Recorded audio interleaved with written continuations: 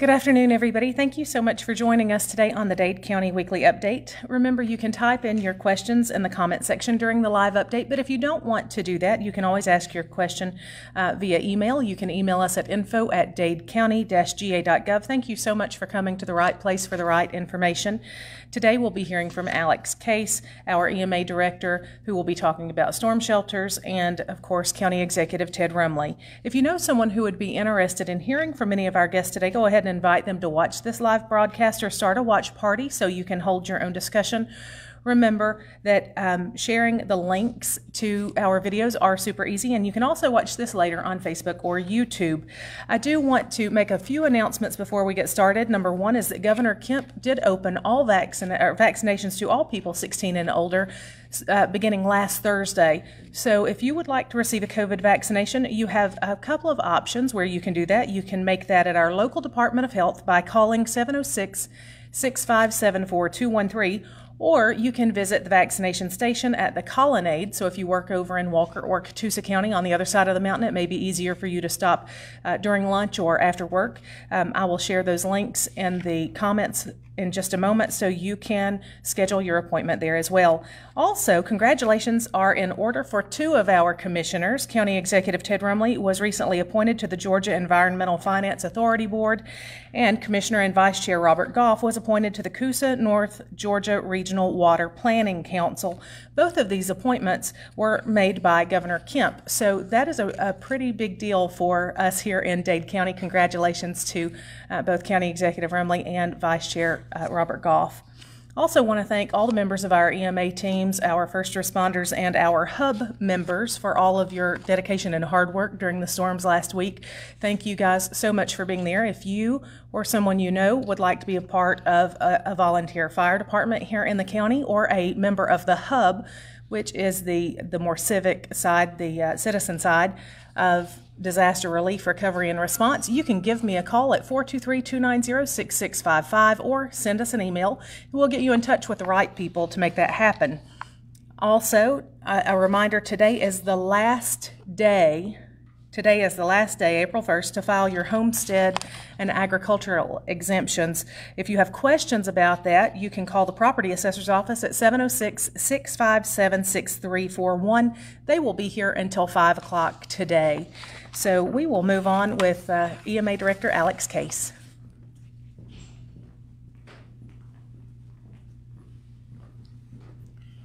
Good afternoon, everyone. Again, I'm Alex Case, Director of Dade County Emergency Management, and as, as Carey mentioned, last few weeks we've had some storms rolling through our counties with severe thunderstorm watches to th- thunderstorm warnings to tornado watches. Uh, luckily, we never had a, a, tornado warning hit to us at a point. Uh, we did have several uh, thunderstorm warnings, but one of the things we were wanting to discuss today has been a lot of questions have come up in the past during these storms is the, the uh, status of our current storm shelters that we were getting awarded a grant from a uh, 2016 um, flooding event that we had in this county, and it took several years for it to get approved by FEMA. And uh, we're working diligently getting the sites prepared. We've got the standard locations set for two of them. Uh, we've got them marked out.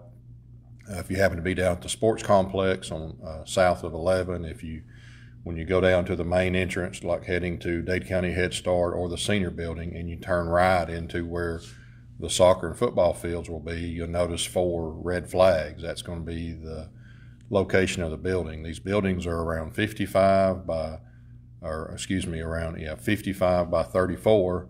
Uh, they're solid concrete bunkers that kind of look like a, a flat uh, roof building with concrete. Uh, type look. It's going to be a, a, regular grayish type color. Uh, they'll have uh, seating for 265 people. They'll be automatically open during tornado watches and available for folks to come in and set. Again, we're going to have one at the Dade County Sports Complex, uh, South Dade Community Center on School Street in downtown Rising Fawn, and another one will be on Davis School Road, close to where the uh, go past the school, by the bow, and up close to where the um, uh, Saddle Club members will be. The building will be setting over to the right. So again, we're working diligently with that. We're getting bids. Uh, the buildings are being constructed in Bessemer, Alabama, from a company called Modular Connection. They won the bid from the federal procurement process we went through. Uh, they'll be coming in stages of uh, a sports complex will be a first. There'll be four sections of the building coming. They will be attached together. Uh, we'll start seeing uh, foundation work soon, uh, uh, electrical and plumbing and stuff getting to certain accesses of that building.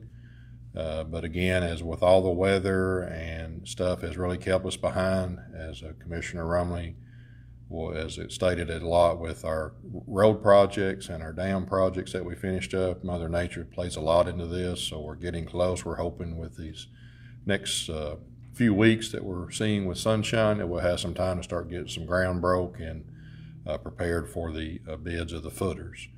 Uh, Dade County will be working of getting the site preparation. Uh, we're getting bids from uh, contractors on the footing and the rebar uh, the, the, specific loads. They got special hangers that has to be built inside the concrete so the building's attached to. So uh, most of them i am meeting with. I've met some last week and meeting some more this week. We have to have as many uh, bids as possible, at least three. But luckily, and one of the issues we run into a lot of there's a lot of work going on, uh, uh, wise everywhere. So getting folks to get here um, may not be as big as a project they would want to have, but we will be working these in stages. Carey also mentioned our hub, uh, which again is our civic organization of our faith based churches throughout the communities. And they opened up for nearly two weeks in a row during times of the tornado watches or uh, seeing where things were coming. We really appreciate those members. Again, that is still going to continue along with these shelters when they're finished. Uh, our designated locations will be those three at all times, but as other communities and people come up, we will share that information through our live uh, feeds during the times of the storms and in the future. If more grants come available and moving forward we'd love to be able to put some more in the communities but we have to work and either acquire property that's owned by the county or its current school property where we can put them so again we're just blessed that we were able to apply for the grant. We were awarded it. It took nearly five years to get get it approved, and uh, we've made one request of payment funding. We had to pay a third down on each building. Uh, we're waiting for that first payment request that will come back. Which every time we pay 100%, the grant refunds us back 85% every time we get in, and that takes a month to two to get back. So we're having to watch uh, things like that, and as steps come over and get prepared. So that's our status again. Uh, I encourage everyone to have a blessed weekend and Easter weekend with your families and your church. And uh, if there's ever any questions, you can email us at info at dadecounty-ga.gov or visit our websites or give us a call. Uh, my number is uh, 423 718 2111, uh, or you can email us. We're all available from our websites. And please don't hesitate. Have a very safe weekend.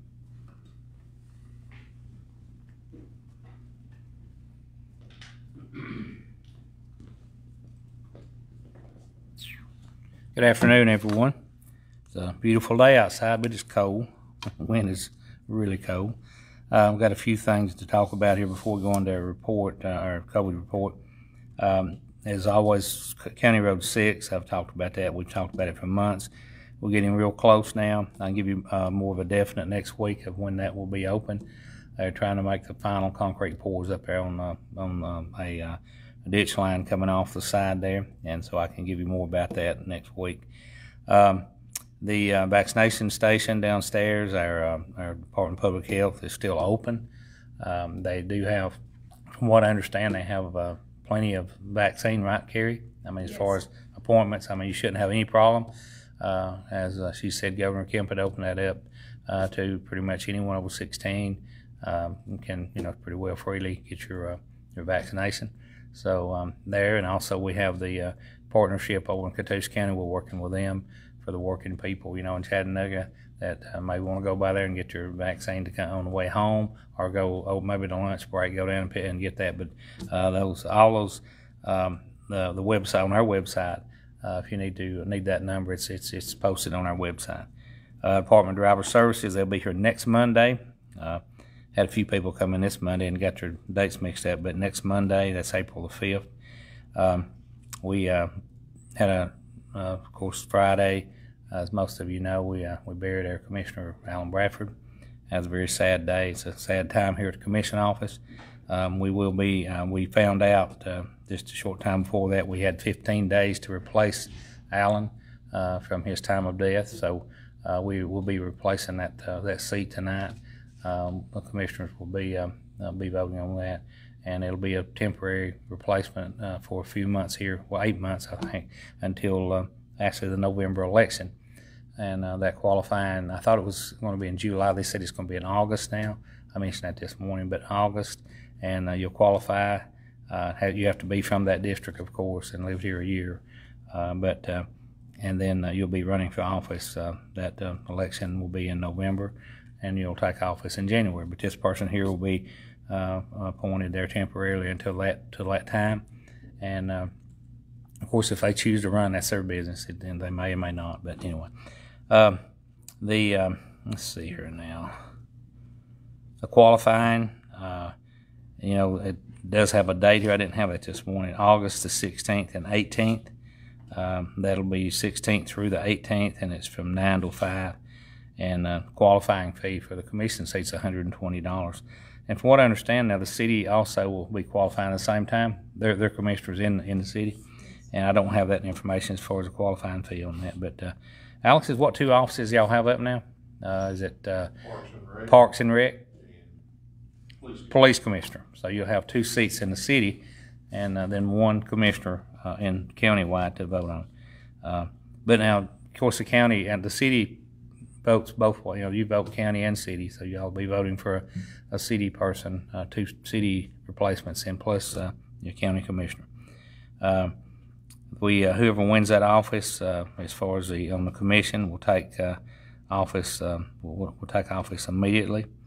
Uh, the, the uh, you know the, you'll be sworn in just like a standard ceremony of a commissioner, and that's to fill the unexpired term of Alan Bradford.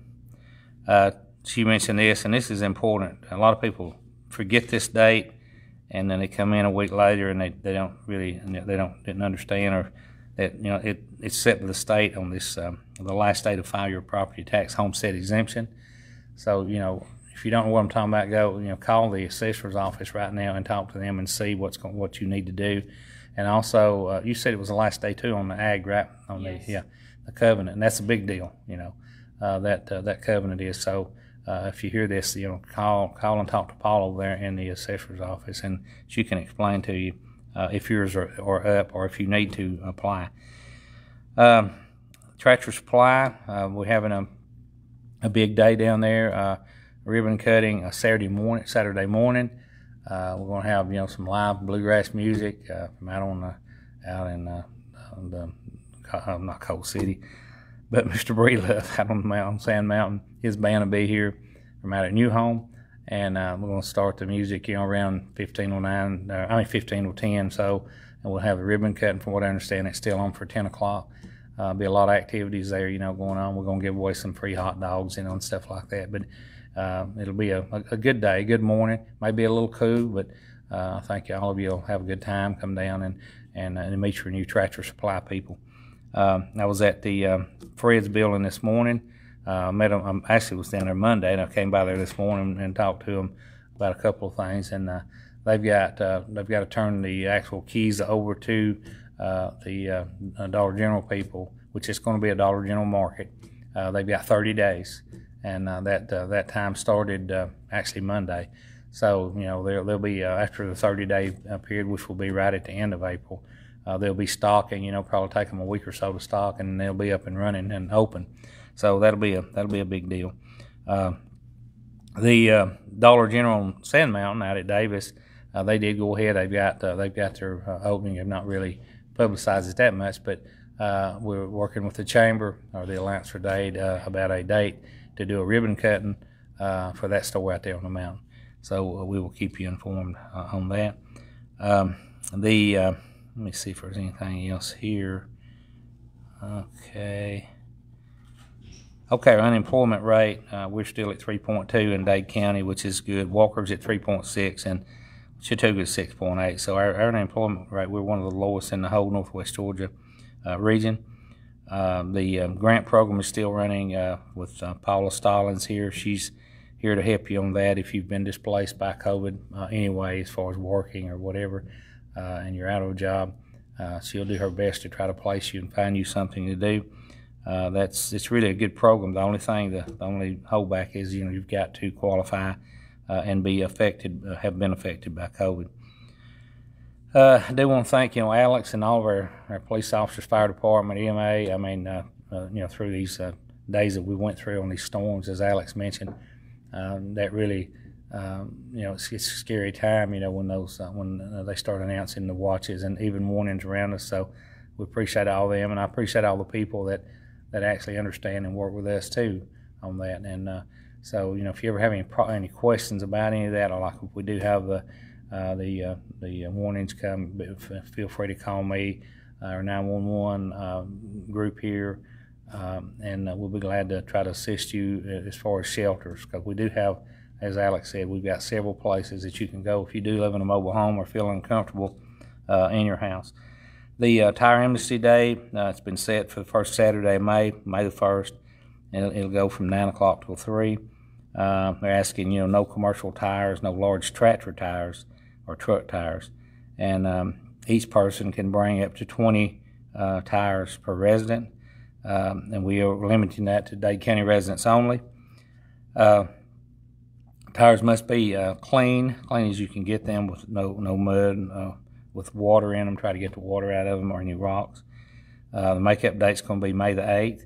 I have had a question there about uh, multiple trailers coming through from the same person that's trying to help people out here, and that's a good thing. It's a great thing. The only thing we ask is that, you know, if you pick up uh, tires from five different people, we need five ad- addresses there where you've picked them up and a contact number to verify their Dade County or an address uh, where we can verify that uh, that they are from Dade County and uh, that's which is fine. It's a good thing that people do that. I've had uh, probably three people comment it's going to be out helping people pick up tires uh, at their places. And um, the only thing with that way, that way it's fair across the board of everybody, and um, we know that that person's not pulling them from Alabama or wherever, or not maybe pulling them from a tire store. You know. So anyway, um, the um, COVID testing. Uh, there's several places now that you know that you can uh, be tested. We have one here in the county, the Lawson Medical Price Pharmacy, uh, Primary Health Care, uh, and the um, then there's others in Tennessee.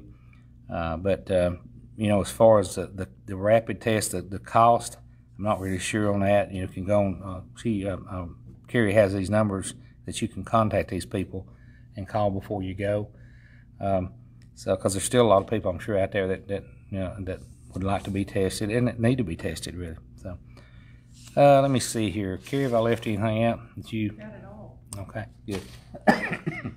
um, the uh, the numbers here, I'm going to stick with Dade County, Hamilton, uh, our real close uh, neighbors uh, with Walker and Catoosa, and I'm not going to go in detail because a lot of those numbers down in, in the Whitfield area are kind of leveling off. But Dade County, um, we're right now at 1,167 since uh, the day one, which is back in March.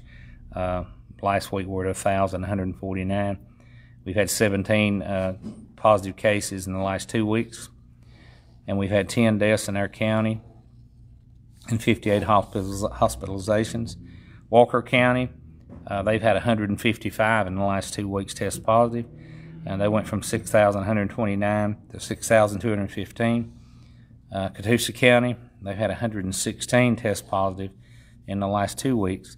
Um, they they went from 5,315 to 5,376. Chattooga County, uh, they've had 38 in the last two weeks, and uh, last week they were at 2,145, and uh, today they're at 2,174. Uh, in Hamilton County, total uh, since it, day one, they've uh, they've had 42,338 positive cases in Hamilton County. Uh, last week at this time, they were at 41,953. As we speak today, they have 667 active cases in Hamilton County.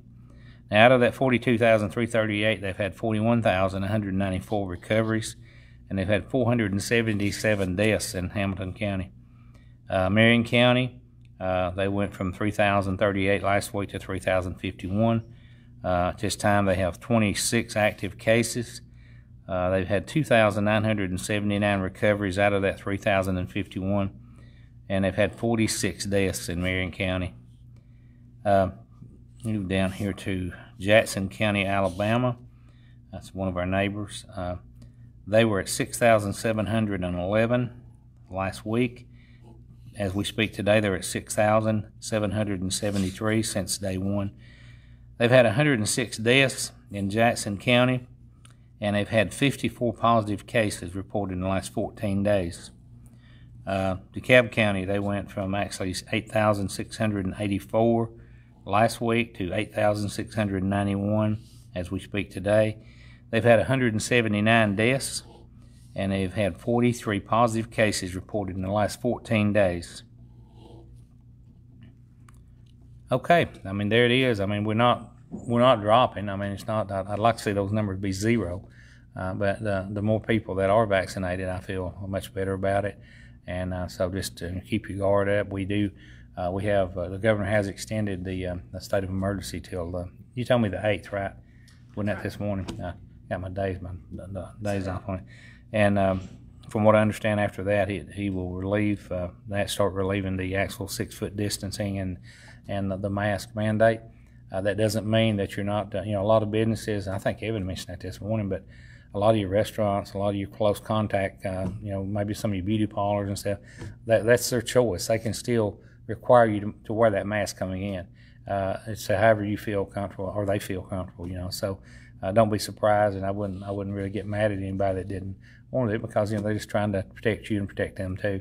So um, you know they can still do that, but it will not be man- mandated. You know, um, by the governor. Now we've got our commission meeting tonight, and we will be living uh, try to buy by the uh, social distancing uh, the best we can here with a mask. Hopefully, I said this morning maybe this will be the last one like this, and we can open it back up and put all of our chairs back like we used to have here and, and feel more at home. You know, but um, we'll, we'll just play it by ear and see uh, on that. But I appreciate everyone working with us, and uh, pray for Alan's family. Uh, that's going to be really hard. It's hard on us, but it's really hard on them, I know. And uh, we appreciate everyone. Appreciate everyone's prayers and and uh, all the uh, the cards and everything that you sent and to us. And it, it was just amazing. It was a, it was really a a sad day, but it, it, the weather was great Friday, and you know it was Alan would have been proud. So, but we appreciate everyone. My number is six six seven eight nine nine nine. air code four two three. And uh, my office number here, our office is 657 4625. Our commissioner's numbers are very easy to find on our website. They do answer their phone as I do, and so please call us if we can help. You got any questions? We do have one question. It it is for EMA Director Case. It is um, about the storm shelters, and the question is, when will Lookout Mountain get a storm shelter? Well, over five years ago, whenever we started this process of granting, we had to apply for a quick grant uh, application, a preliminary, and once we were awarded, we have to have government property. So the, pro- the two properties in, uh, all three properties are owned by, two of them are by Dade County, another one by the school board. Currently, we have no property on Lookout Mountain that is owned by Dade County. So uh, we we will be looking to do that. Uh, we looked at some areas possibly where we could uh, where we could do that. So if it comes more available, and we have sometimes we have just a few weeks to prepare the applications when they come out. How we got the application from the Christmas uh, floods we had in 16. Uh, we had all the flooding, the road damage, and you know we, we were declared and we were fighting to get all the roads repaired then through that, through mitigation, we, we do a, a 10 year uh, mitigation plan every five years. And we get funding to help write that plan and prepare. And one of those was storm shelters. So uh, if it happens again and we don't have, we have to have the property because you got to send the property record in. So that was one of the reasons we were limited where we could put it. The alternative fourth one that we did have, we had to put an alternative in was the old uh, North Dade School, which I think they use it as a community center and a walking track. If any additional funding from this grant is left, we would be awarded a fourth shelter that could go to the north of the community. But we're wanting to get them in all communities. That will be the next step is either some acquiring some property that is uh, located around a mass area of, of um, population to do to that. So that's one of our things in mitigating down the future, the next several years that we could do. Well, that was one of the reasons why Lookout wasn't able because we had no government property on the mountain. Righty, again, hope everybody has a wonderful day, as uh, Executive Rumley and all of us have said, and have a wonderful Easter. Uh, spend time with your family and your church, and uh, thank you for all. And if you have anything, let us know.